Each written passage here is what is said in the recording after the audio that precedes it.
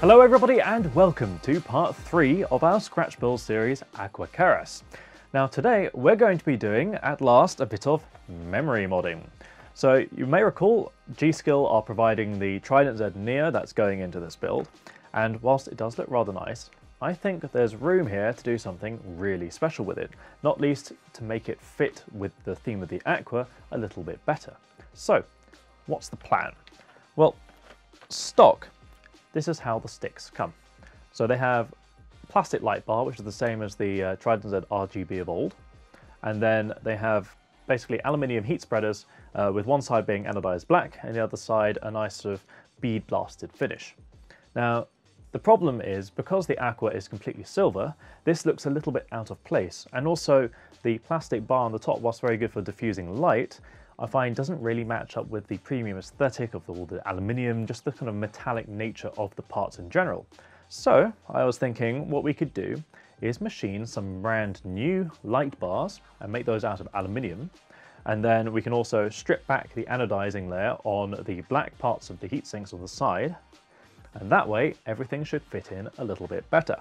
First up, let's take a look at the top of these light bars because actually they're a little bit more complicated than you would first imagine.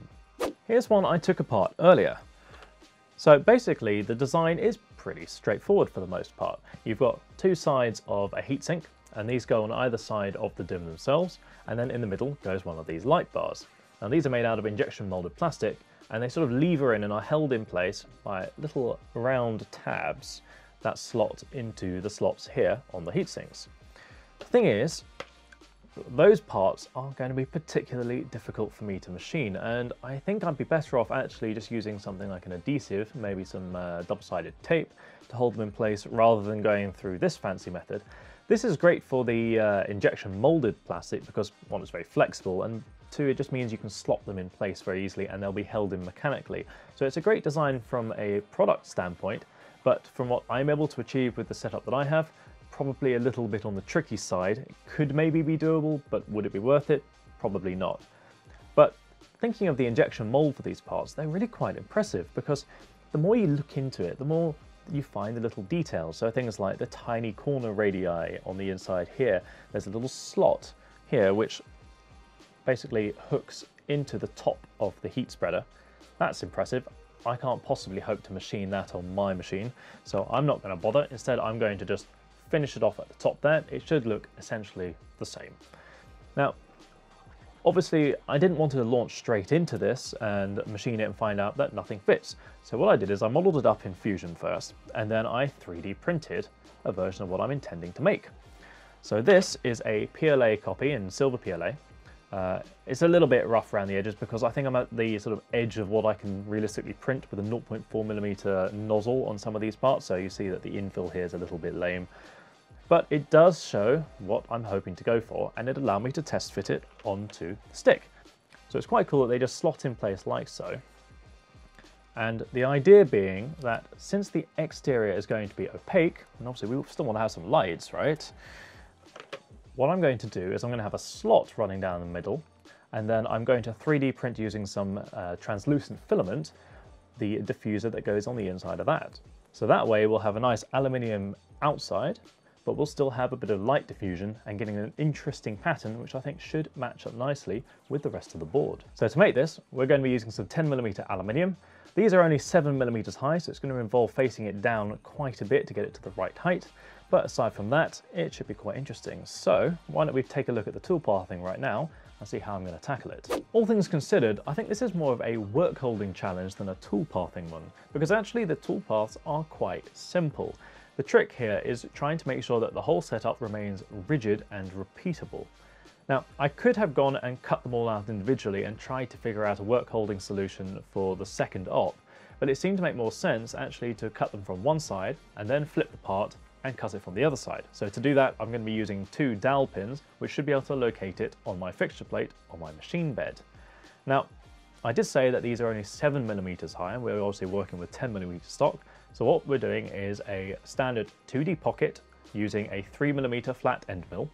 Now I'm only using a small 3mm end mill for this because I found that with my machine it helps reduce chatter.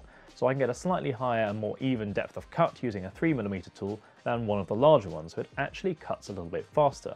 The other handy thing is that the 3mm tools are cheaper and I can use the Sorotec ones instead of the Datron ones because if I'm only using the tip of the end mill it does mean it's going to wear out faster so I'm better off just using a cheaper one and then replacing it with a new one when I need it rather than using an expensive tool uh, since I can't use the full depth of cut like you're supposed to. Now basically what I'm going to be doing is going down 3mm with the pocket and then I'm going to use a 2D contour to go take it further down and this will give me clearance for the chamfers and for doing the surfacing. And I'm then going to go over with a 2D contour again just to clean up the sides and prevent any kind of minor chatter. Now to get a finish on the top that I really want I'm going to be switching over to a 6mm 4-in-1 end mill from Datron and that's just going to clean up the tops. Now I did consider using a facing op, but the problem is because of the size of the geometry of uh, these particular parts sort of waving in and out, Actually, I found it quite difficult to get an even finish across the whole surface that didn't interfere with the size. So what I did is, is I drew the toolpaths manually and I'm just going to use the trace command, which will just pull the end mill over the top. It's a very short toolpath, so it's not a lot of work. You can just use the rectangular pattern tool to make that nice and simple. So that's what I've done. Finally, we're then going to go and do the slot. So this is going to be using a 1mm end mill, and I'm going to be using the Datron one for this one because it's nice and rigid. And I'm just going to play it, play it really, really safe with this one using a 400mm uh, feed rate because these things break very easily, and especially in the middle where I'm going to be changing direction, that's a fair bit of acceleration going on there. And if you're going a little bit too fast and you have a tiny bit of shake, that end mill will snap. So I'm going to make it really simple and just go nice and low and slow and take my time with it. After doing that, we're going to finish it off with a chamfer using the 6mm uh, countersink, and that should add some nice, nice little edges to the, to the profile and make it glint a little bit and also just add that little bit more pizzazz. So the second op is going to be a fairly simple one, but it's also very crucial that I get it all right. So we're going to flip it, put it on the fixture plate at this particular location, and then I'm just going to use a 2mm tool. Again, it just means I don't have to do a tool change and also reduces chatter because it's got a very small uh, surface area. I'm just going to do a 2D contour around the outside after doing the 2D channel on the inside. Now the important thing about this channel here is that it depths it and it allows the light to go all the way through to the other side because I can't actually go down 7mm using the 1mm end mill. So what I'm doing is going only 2mm with the 1mm, flipping it, and then I'm doing the rest of it with a 2mm. And that will also give me a slightly larger area for which to put the 3D printed part into it from behind. Should hold it nicely in place and definitely make it a bit easier to print and give a better finish, I think. Now you may have noticed I'm not going to be machining the sloping center boundaries, and that's just because it didn't seem worth going in there with a tiny end mill, and lots lots of different passes throughout the whole depth, and then finishing it with a ball end mill, when realistically I could just do that bit by hand using a jig. So that's the route I'm going to take, and I think it should work out a lot quicker and be a lot more consistent because I'd be worried about extreme chatter in the middle because that's the furthest part from the ends where I'm holding it in with tabs. So it just seems like a more sensible approach. So let's pop this stuff onto the machine, get it roughed out of stock and see where we can go.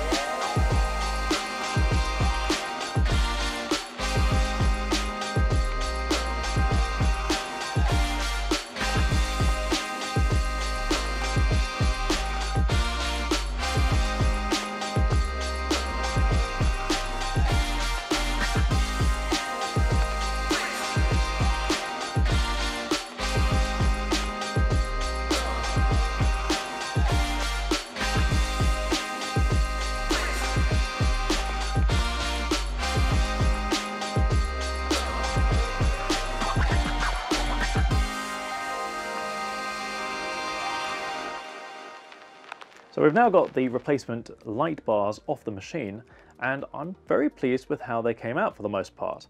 Now the thing is, they're still very rough at the moment, so we need to finish them off with some files to get rid of all of the tabs and the remaining burrs from meeting from one side to the other, but then after they're fully cleaned up, I think they're going to be rather good.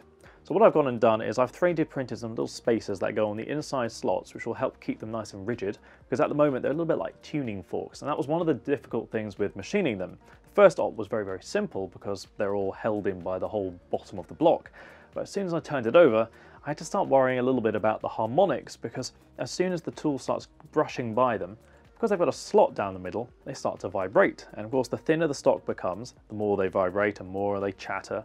So I had to be very careful about how they took the vibration method and I had to alter the settings a few times just to make sure that it wouldn't end up chattering the whole piece to death and potentially ripping one of them out, destroying the end mill and the piece and having to start over. Luckily, that didn't happen and they all came out okay. So how are we going to be hand filing them? Well, these surfaces are quite simple. I'm just going to pop those into the vise, go at them with the needle files, and then finish them up with some uh, sandpaper to get them nice and smooth. But these parts over here that I wanted to sort of get into a nice angle to match the original bars themselves, so if you take a look at them, these have a slope to them and these don't. How are we going to do that? Well, I basically 3D printed a little jig for it. So the cool thing about this jig is these just slot in and then are clamped in place and then it allows me to have like a file guide. So if I take these and then clamp them like so, these basically slot in place like so, and then this surface can act as my reference surface for using the needle files. So I'm basically just going to go over these by hand using the safe edge on this side over here so that I don't end up marring the original finish that I've just worked on and then that should give me a pretty repeatable finish and these are matched up to the exact pieces in CAD so it should be pretty close to the real thing. And then I can always just go over it by hand at the end as well just to check that they're all going to fit okay. I'm also going to reduce the radius on these because this was just left by the tool and I'd rather have it nice and square so that it fits at the end. So I'm going to do that as well. And then after this when they're all up and finished, we're going to put them into the tumbler and we're going to use some dry resin media, perhaps followed by some walnut, depending on how they come out after that, so that I can get a nice finish which matches the bead blasting. Now, what we're going to do is we're going to do that now, and then straight after that, we're going to turn our attention to the size of these sticks because obviously I want them to match with the uh, tops and these parts over here. So we're going to take these sticks apart, we're going to use some uh, sodium hydroxide to remove the anodizing and then hopefully that's all we should need to do with them. I'm going to give them a nice good clean in the ultrasonic bath before doing that and that should hopefully leave a nice finish.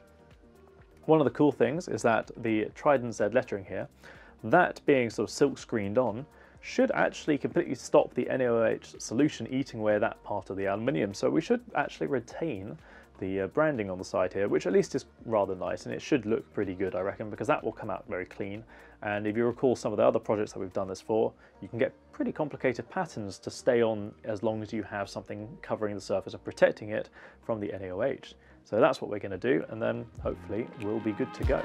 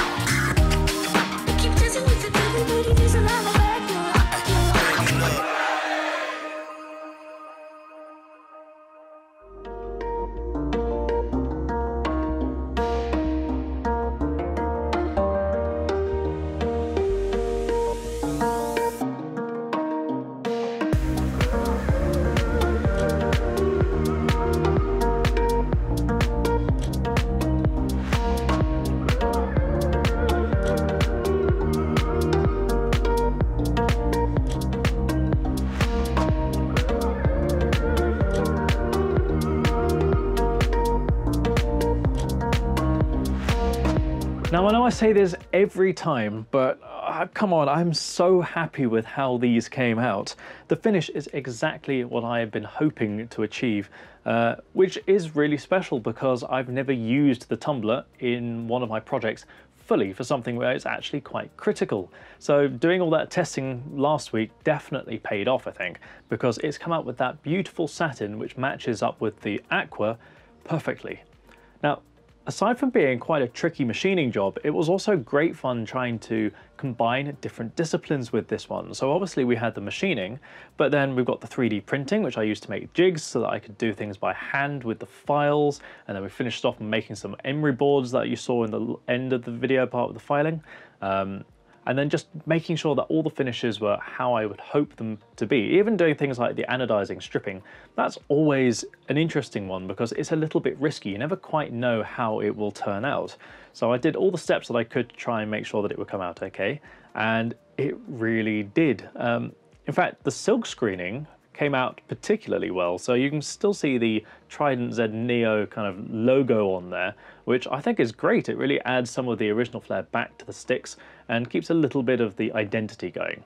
Now another thing that was really cool is the fact that the light bars in here they refract the light really, really well. So the little um, 3D printed bars that I put inside of that, now that uses a, a transparent PLA, which of course once you've printed becomes more of like a cloudy opaque thing. Now I've used that in the Aorus project uh, a while ago and had it sort of a milky appearance to it.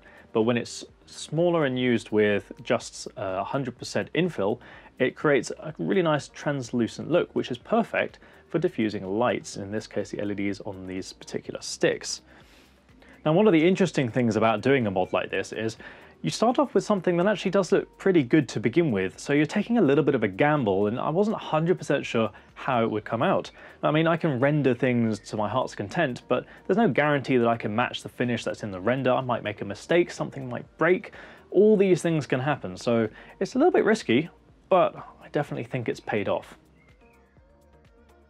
Now, if you like that little journey, make sure to stay tuned because we've got some fantastic updates just around the corner because we're getting into the really meaty stuff. I'm going to be having to do all the framework, the proper water cooling, the water blocks, advanced finishing. Yeah, it's going to get pretty exciting. So you don't want to miss any of that. Make sure you subscribe to the channel if you're not already. Of course, you can also find us over on builds.gg, Instagram, Facebook, Twitter, and of course our Discord server, which is linked below. So pop in, tell us your own projects, say hi, or just have a chat. It's all great fun. Of course, whilst you're here, if you'd like to support the channel, don't forget to pop over to the merchandise store linked below and see if anything strikes your fancy. Take care, folks. I'll catch you next time.